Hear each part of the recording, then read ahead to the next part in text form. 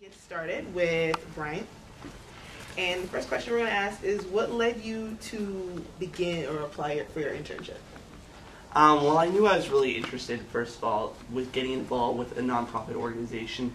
Um, I started off with Florida Alternative Breaks, and I kind of developed a passion for international healthcare and poverty and development in general. So um, I knew I wanted to do something like that, and I know a lot of people that have, being an engineer, that have engineering experiences with internships. So there's a lot of organizations that are nonprofits. So why, you know, I thought, why can't I intern and do that for the summer instead? If that's what I'm really interested in, I might as well have a summer that I enjoy and get, you know, great field experience. Um, so how I began, let's see.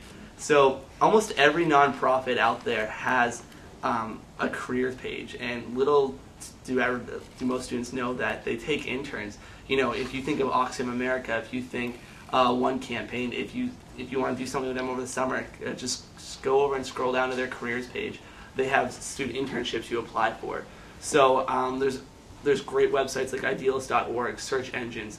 Um, this field is growing. It's there's a lot more people that are kind of getting on the bandwagon, getting really interested in it. I've personally taken a lot from my experiences. Like I consider my internships, you know, on par with a lot of my um, educational classes I've taken at UF. I've learned probably more from them uh, learned everything from professionalism. You know, it's it's still a, a, a business to say the least. Uh, you're not you know trying to make a profit, but you have to you have the same sort of things where you you know how to send a professional letter to people, how to you know hold a conference call on, uh, and how to you know manage uh, volunteers if it's a nonprofit you're working with or you know teamwork that sort of thing. So just a lot of life experience came from at least the internships I've done and just it really prepared me, I think, to move on to other things, which is great. So, a lot of internet searching. I knew about a lot of organizations uh, that were kind of interesting to me, and I read about them. I narrowed it down to maybe a list of ten that you know I'd be interested in working with.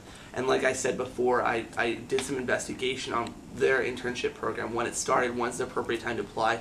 As a freshman, I actually missed a lot of the deadlines, and that's how I was more prepared sophomore year because um, a lot of them have applications that are around you know January, February, February time. If you're planning for a summer one like myself, um, let's see. The best way to be qualified, I think you guys probably uh, would agree with me, is that you just have to kind of radiate your passion and like explain to, to let them know that you really understand what their ultimate goals are, where their organization is going, understand like why they're doing what they're doing. If you kind of just have your own personal philosophy on the same page as the organization you want to work for, it it trumps a lot of the basic skill sets. You know, if you if you can't uh, do basic you know computer things, there's something they may have another spot for you. Um, I just think that's the biggest thing. If you're behind 100% the same mission and uh, message that they're trying to send out to the people, um, they're going to want you on your team, on their team, excuse me.